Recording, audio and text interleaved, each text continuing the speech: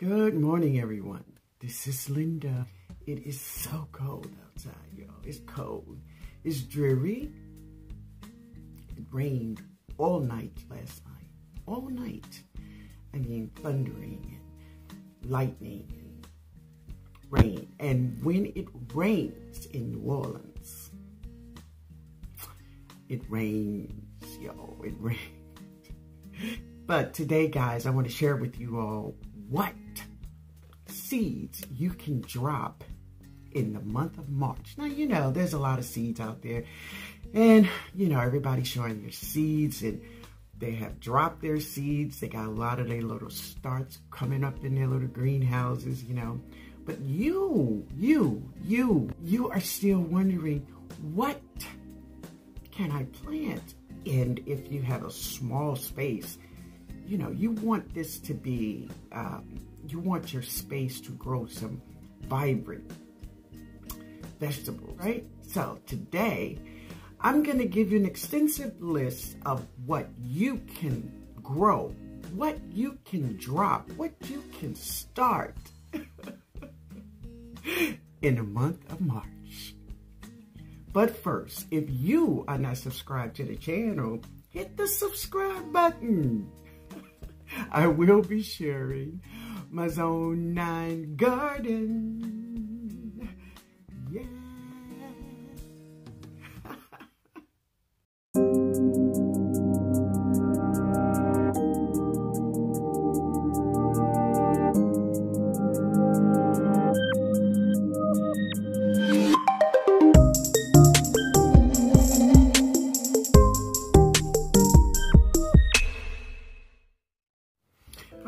So the first seed on my list is an artichoke. That's an artichoke. It's an artichoke. So if you're thinking about growing an artichoke, March is a great month to start your artichokes, okay? And the next is beans. Beans. Now, these are from the Dollar Tree. And let me tell you, they give you lots and lots of beans. Here's more peas. Drop your peas. Great, great month. Also in the beans, we have some tongue beans. Uh, where are they? Also, fava beans. Beans. All those beans. They love, love, love. Hey, here's another bean. Beans. They love March. Drop them in March. They're going to do well. Corn corn. Drop your corn in March. So here's one corn here. That's a lavender corn. Here is peaches and creams, one of my favorite. Also, I'm trying for the very first time, honey and cream. Honey and cream. Y'all know I gotta taste that thing. I gotta taste it. And here goes my eggplant. So I have some purple long egg, eggplants. The very new night white eggplant. Also, we have the baby Casper white. Also, the Rose Bianca. Boom! In that thing, God, I can't wait to taste this. Yeah. Also, it's a great time to drop your leeks. You see that leek? That's a leek, y'all. It's a leek your leeks, your shallots. Drop your leeks. More leeks. Yeah. All right, guys, here we go. I hope you have your pens ready, right? So, carrots. Drop your carrots. March. They love it. Here's more carrots. That's the bigger carrots, right? Yeah. They love it. And the ones that I prefer is these little small ones. And where is this from? The Dollar Tree they grows beautifully. Yes. Also celery. So here is some crispy celery. Here is some Chinese pink celery. The girl still serving me. She's still serving me. Yes. Also, it's time to drop all of your brassicas. You know, like your kales and bok choys. I'm going to get to that, but let's go through this some more, okay? Cucumbers. So this season I will be growing the white cucumber. the lemon cucumber. My favorite baby I found yesterday, the Armenian cucumber. Here's a spring burpee. Is it burpee? Burpless cucumber. Yeah. Also, I have a garden sweet cucumber. And this thing I got from Baker Creek. Mm, you see that? Cucumbers. Mm. Yes. Also, getting back to my brassicas, you know, just, y'all know. Y'all know. Y'all already know. I gotta have that kohlrabi, right? And lettuce. Drop your lettuce. Yep. And of course, there's shallots. And this is a new one that I'm trying again, where I'm trying it a second time around. And that is these um, dragon tail uh, radish. Um, now, I did grow some last season, but they were destroyed. So I'm going to do it again. Do it again. All right. Let's get on with the squash. Squash love March, right? So here's some zucchini squash and some acorn squash. Yeah. Here is some early bush scallop squash. That looks like a patty pan, but yeah, yeah. It's um, a 49er hybrid. Mm-hmm, there she is. And of course, one of my favorites is a spaghetti squash, y'all. It's a spaghetti squash. Yeah. So this year I'm growing three varieties of okra. So one of the okras I'm growing is a Louisiana green velvet okra. I'm also going to grow the, the spineless okra and the red okra from my girl Sue. All right? I'm going to drop those. So let's talk about some peppers. And everybody loves peppers. From sweet, I love sweet peppers. I do a couple of the hot peppers just for family members or friends. But for me and my palate, I want sweet peppers, y'all. So I'm growing a variety of sweet peppers. So here's just two of the peppers that I'm growing uh, this season. So this is a yellow monster pepper. Hmm. I never grew up before. But y'all know I'm gonna, I'm gonna do that. And this Zulu pepper. Got to do that. Now I also have white pepper purple peppers, and of course the traditional red, orange, and green. Yeah. And for your herbs, what herbs do you enjoy, right? So looking at cabinet, see what herbs do you purchase? Do you purchase parsley and oregano? Yeah.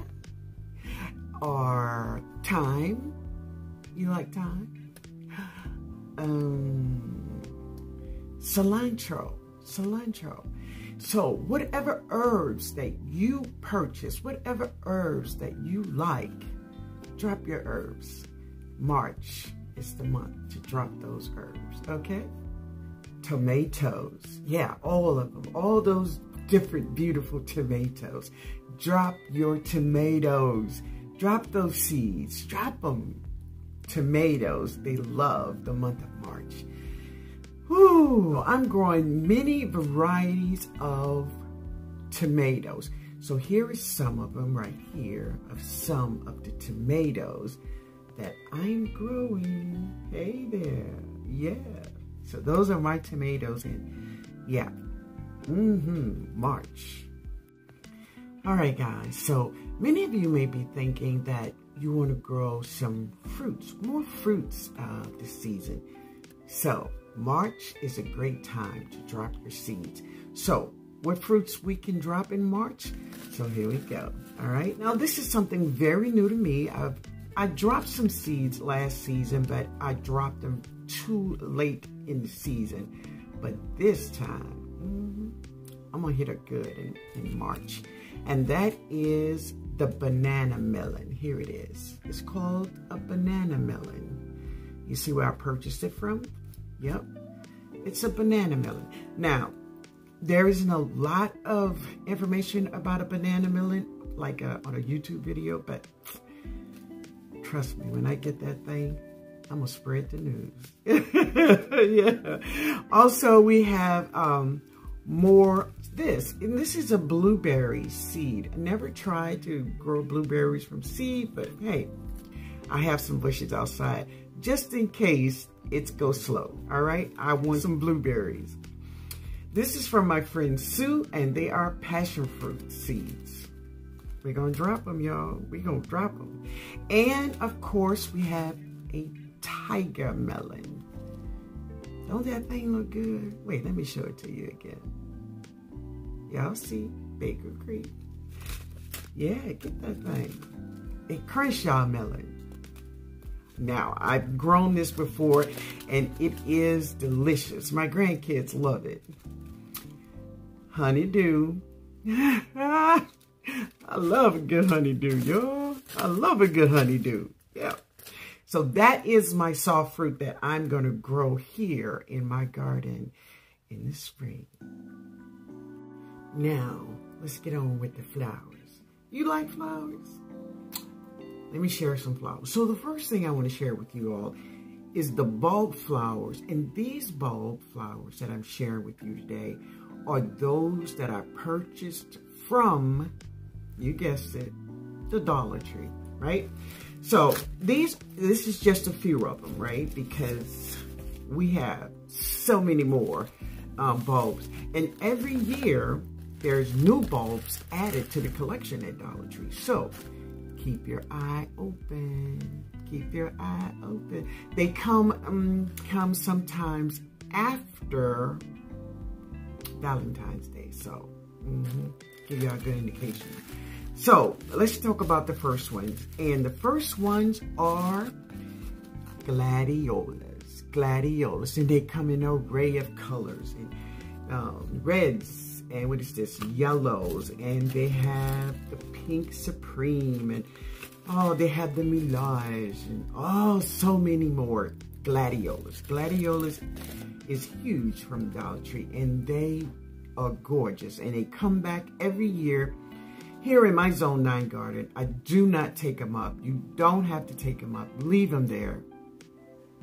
If you want them to grow in that area the following season so you leave them there and they will come back just like that. A ranunculus. This is a ranunculus from the Dollar Tree and here you get five bulbs for a dollar. Also, sorry about that, the iris. Yeah, now that's my iris. Ooh, they gorgeous, y'all. They are gorgeous. They are gorgeous. A freesia, a freesia. That's my freesia. Ooh, and it smells so good, so good. So good.